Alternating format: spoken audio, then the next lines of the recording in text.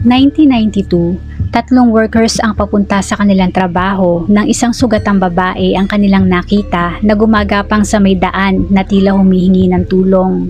Ang babae ay agad nilang nilapitan kung saan sa kanilang paglapit ay sa kanila napagtanto kung gaano kagrabe ang tinamong sugat nito. Ang katawan ng babae ay puno ng sugat at higit sa lahat ay lapnos ang balat. Ang babae ay sinunog ng buhay. Agad nila itong dinala sa ospital kung saan ito ay nakomatose at sa kasamaang palad ay binawian ng buhay matapos ng apat na araw. Sa babae ay wala silang nakitang pagkakakilanlan. Sa kabila ng ginawang pagsunog sa kanya, isang fingerprint na nasa kanyang thumb part ang hindi nalapnos ng apoy. Dahil dito siya ay na-identify at nakilala na si Suzanne Capper. Ano ang nangyari kay Suzanne? At sino ang walang pusong nilalang ang responsable sa kanyang pagkapaslang. Tara at ating buksan ang pahina ng krimen ng kaso ni Suzanne Capper. Kamusta sa inyong lahat? Bago natin simulan ang ating kwento, kung bago ka pa lang po sa channel, please hit the subscribe button at pakipindot na din po ang notification bell para maging updated ka sa susunod nating kwento Ipinanganak noong 1976 sa Manchester, England, si Suzanne ayon sa mga kakilala ay isang kind, high-spirited at loving na dalaga. Siya ay bunso sa tatlong magkakapatid na iniwanan ng kanilang ama noong siya ay walang muwang pa. Bagamat hindi nakaranas ng pagmamahal ng isang ama, ito ay kanyang nakuha nang makilala ng kanyang ina na si Elizabeth, si John Capper. Si John ay itinuring silang tunay na anak ng kanyang mga kapatid at kasama ng kanilang ina na si Elizabeth ay naging isang buong pamilya taong 1990 nang si Suzanne ay 14 years old. Ang pagsasama ni John at Elizabeth ay hindi nagtagal at sa breakup na ito, ang magkakapatid ang higit na apektado. Sila ay paroon at parito sa bahay ng kanilang ama at ina para sa matitirahan. Si Suzanne in particular ay madalas na nakikitulog sa kanyang mga kaibigan at paiba-iba din ang bahay na tinutuluyan. Ang kanilang ina na si Elizabeth ay nagkaroon pa ng mental health at bilang hindi niya nakaya na alagaan ang mga anak niya, sina Suzanne ay nanirahan panandalian sa isang children care home. Si John ang kanilang stepfather sa kabutihang palad ay kinuha silang magkakapatid at pinatira sa kanyang tahanan, ang tanging nakatatanda na sa kanila ay kakalinga. Sa mga nakalipas na pangyayari, Si Suzanne ay nakakaramdam ng abandonment. Bagamat si John ay ginawa ang lahat para mapunan ang kanyang role bilang isang ama at ina sa magkakapatid na Suzanne, parang hindi iyon sumasapat. Si Suzanne ay nasa kanyang teenage years at siguro dala na din ng kanyang pagdadalaga Isama mo pa ang knowledge na iniwanan sila ng kanyang tunay na mga magulang. Siya ay nagrebelde. Nagsimula siya na hindi pumasok sa kanyang eskwela at na-involve sa petty crimes. Gusto niya na gumawa ng problema at naghahanap siya ng atensyon. Sa school maging sa bahay man ay hindi niya siguro nakukuha yun. Ang kanyang uhaw sa pagmamahal at affection ang tuluyang nagdala sa kanya sa kapahamakan. Minsan sa isang daan ay nakilala ni Suzanne si Clifford Hayes. Si Clifford ay nakita niya na parang malungkot sa katatapos lamang na pag-aaway nila ng girlfriend niya. Si Suzanne ay nilapitan si Clifford to cheer him up at sila ay naging magkaibigan. Kalaunan, si Clifford ay ipinakilala naman si Suzanne sa kanyang ate na si Jean Powell. Si Gina isang 26 years old single mother of three na ang bahay ay isang 7-minute walk lamang ang layo sa bahay ng kanyang stepfather na si John. Siya ay isang babae na kayang i-dominate ang mga tao sa paligid niya. Sa kanya siguro nakita ni Suzanne ang atensyon na pinakahahanap kaya soon enough ay ang madalas niyang pagpunta sa bahay ni Jean.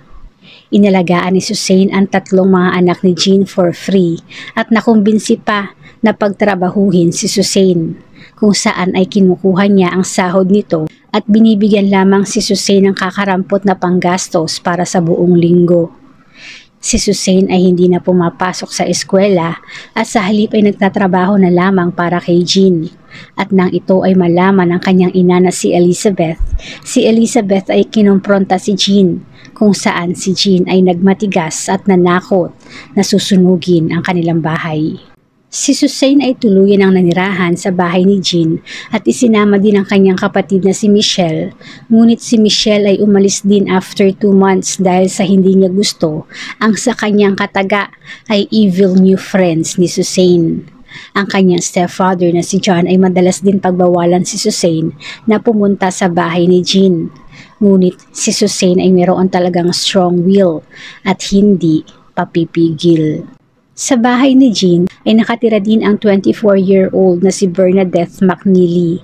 Si Bernadette ay a mother of three at nagre-rent noong una sa same building na nirerentahan ni Jean.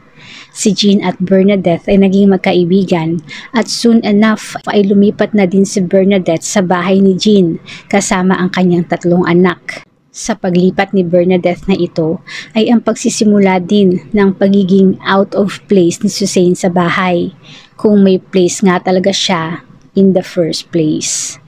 Ang bahay ni Jean ay madalas din puntahan ng 29-year-old ex-husband nito na si Glenn James Powell na isang convict for robbery and theft. Bagamat sila ay hiwalay na, sila ay in good terms pa din at minsan ay nagsesex din kung may dumadalaw kay Jean. Siyempre, si Bernadette ay mayroon din. Madalas din pumunta sa bahay na yon ang 17-year-old boyfriend ni Bernadette na si Anthony Dodson. Sa madalas na pagpunta ni Anthony sa bahay, hindi lang si Bernadette ang kanyang naikakama, maging si Jean din ay naikakama niya. Ang bahay ay hindi lang puntahan ng kani-kanilang mga lalaki. Ang bahay ay sentro din ng droga, stolen cars trading at sex parties. Ito ay ang pinakadahilan kung bakit umalis ang kapatid ni Suzanne na si Michelle at ang pagbabawal din ng kanilang stepfather na si John na pumunta doon si Suzanne. Maraming tao ang sa bahay ang paroon at parito hindi malinaw kung hanggang saan ang parte ni Suzanne sa mga activities na ito, pero siguro ay hindi naman ganon kalala dahil kung si Suzanne ay talagang one of them, hindi siguro siya mabubuli ng mga tao na nakatira dito. Ayon sa kapatid ni Suzanne na si Michelle, si Suzanne daw ay madalas mabuli ni na Jean at Bernadette may nangyayaring pananakit. Bagamat si Suzanne ay nasasaktan, patuloy pa din ang pagbalik niya sa bahay ni Jean dahil para sa kanya, ang mga nakatira doon ay kanyang kaibigan. Ayon pa nga kay Michelle, si Suzanne daw ay hindi takot sa mga tao doon, bagkus ay gagawin niya pa ang lahat para sa kanila. November 1992, si Suzanne na 16 years old ay pumunta sa bahay ng kanyang nanay na may malaking black eye. Nakiusap si Suzanne na doon muna manirahan at gusto niya daw muna lumayo sa mga troubles na kasalukuyan na mayroon siya. Ngunit tumanggi ang kanyang nanay dahil baka daw magalit ang kasalukuyang boyfriend nito. Minsan ay sinabihan din ni Suzanne ang mga kapitbahay na ginagawang pananakit sa kanya, ngunit wala ni isa man ang naniwala sa kanya. Sa pagbalik ni Suzanne sa bahay ni Jean, ang routine bullying ay mas lalong iigting. Minsan, si Suzanne ay kanilang inakusahan na nagnakaw ng isang expensive pink coat. Sa akusasyon na ito ay ilang beatings pa ang nakuha ni Suzanne. December 1992, ang pananakit ay higit na mas lalala. Ang magpartners na sina Jean, Glynn, Bernadette at Anthony ay nagkaroon ng pubic lice infection. Nagsikatihan ang kanilang mga singit at busit na busit na nag-shave ng buhok doon. Ang pangangati na ito ay ibinintang din nila kay Suzanne dahil ang higaan nila ay hinihigaan din daw ni Suzanne. Hindi nila pwedeng isisi na maaaring ang mga kuto ay galing sa kanilang sex party. Kaya ang mga kuto sa singit ay for sure kay Suzanne daw nang galing. Dahil dito, si Suzanne ay nakaranas na naman ng sunod-sunod na mga beatings. Matapos ng pananakit dahil sa kakatihan na nakuha daw sa mga kuto, si Susan ay tuluyan ng umalis at sa pagkakataong ito ay pumunta sa kanyang stepfather. Maaari na tuluyan na siyang natauhan at sa bahay ni Jean ay hindi na bumalik. Pero syempre, hindi pa ito ang katapusan. Ang grupo ay nagplano na si Susan ay paghigantihan. December 7, desidido sa paghihiganti, sina Jean at Bernadette ay pinuntahan si Suzanne sa bahay ni John para sabihin na ang crush niya daw na lalaki ay nasa bahay nila Jean at gusto daw siyang makita. Si Suzanne ay naniwala naman at willing na willing na sumama sa dalawa. Pagkapasok na pagkapasok pa lamang ni Suzanne sa bahay, siya ay agad na hinuli at pinigilan ni Naglin at Anthony. Sila ay pilit na kinalbo ang lahat ng buhok sa katawan ni Susain. Isang plastic bag naman ang inilagay nila sa ulo ni Susain at kasabay ng pagkaubos ng kanyang hangin ay ang pagpalo naman sa kanyang katawan ng kung ano-anong bagay katulad ng belt at wooden spoon hanggang siya ay mahimatay. Matapos ng pananakit, si Susain ay kanilang ikinulong sa isang cabinet kung saan siya nagiiyak at nagsisigaw ng buong gabi. Ang kanyang mga palahaw ay rinig na rinig sa buong kabahayan kasama na ang anim na mga kabataan na anak ni na Jean at Bernadette kaya kinabukasan, si Suzanne ay kanilang dinala naman sa bahay ni Bernadette na ilang pinto ang layo lamang para ang kanyang mga palahaw ay hindi na mapapakinggan pa ng mga bata. Sa loob ng kwarto ng bahay, si Suzanne ay kanilang itinali sa isang nakatayong higaan na may busal ng medyas ang bibig, kung saan siya pahihirapan ng ilang mga araw. Si Suzanne ay pinapasok din ng sigarilyo kung saan isang burn mark pa ang nakita sa pagitan ng kanyang dalawang mga mata. Sinasabing isa sa ginawang pagpapahirap ay inspired pa ng movie na Chucky Doll. Hi, Chucky. Wanna play? Isang song na tungkol kay Chucky ang paulit-ulit nilang ipaparinig kay Suzanne kapag oras na ni Bernadette sa pagpapahirap. Sa kanyang pagpasok sa kwarto ay sasabihin niya pa I'm Chucky. Wanna play? Soon enough, ang mga salitang ito pa lamang ay sapat na para matakot si Suzanne hanggang kaibuturan niya.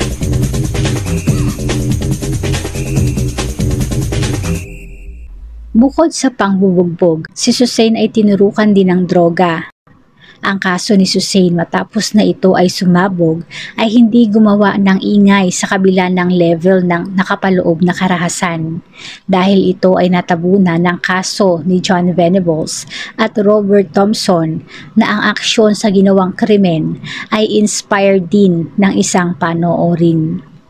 Sa bahay ni Jean ay may dalawa pang kalalakihan ang madalas ay bumisita isa na dito ay ang kanyang kapatid na si Clifford. Tanda niyo pa siya?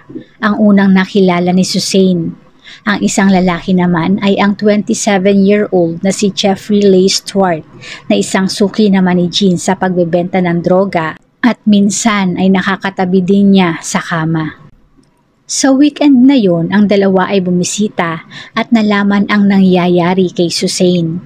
Ngunit sa halip na si Suzanne ay tulungan, dumagdag pa sila sa pagpapahirap. Sa pagkakatali, si Suzanne ay obviously doon na din dumudumi. Naisipan nila na linisin si Suzanne at sa paglilinis ay gumamit sila ng puro na disinfectants at hinilod pa hanggang sa sumama ang balat niya. Matapos ng paglilinis, si Clifford ay nakakita ng pliers at inutusan si Suzanne na buksan ang kanyang bibig kung saan dalawa sa kanyang mga ngipin ang binunot. December 14, ang grupo ay napagdesisyonan na tuluyan ng paslangin si Suzanne. Dinala nila si Suzanne sa isang secluded na area kung saan nila ito binuhusan ng petrol para silaban. Sila ay enjoy na enjoy sa kanilang ginagawa at napapakanta pa nga ng Burn, Baby Burn bago tuloy ang umalis at si Suzanne ay iwanan. Si Suzanne bagamat puno ng mga sugat at nagliliyab ay nagawang makasurvive at makagapang para makahingi ng tulong. Dito na siya nakita ng tatlong workers at dinala sa ospital. Siya ay agad na binigyan ng karampatang lunas, ngunit kalaunan ay nakomatose din.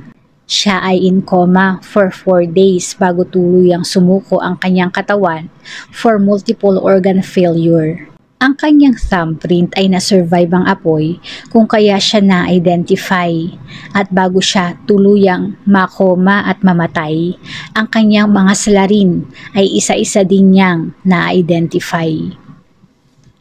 Ang mga otoridad ay pinuntahan ang bahay ni Jean at Bernadette at nakita ang buhok at ngipin ni Suzanne maging ang pliers na ginamit sa basurahan.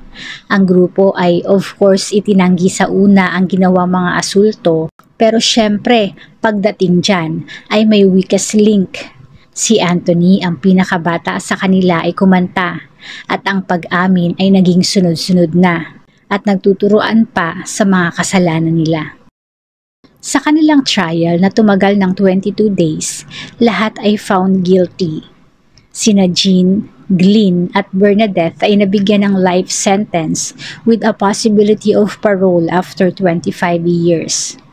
Si Anthony ay nasentensyahan naman for an indefinite period of time with a possibility of parole after 18 years. Sina Clifford at Jeffrey ay both sentenced naman to 15 and 12 years in prison.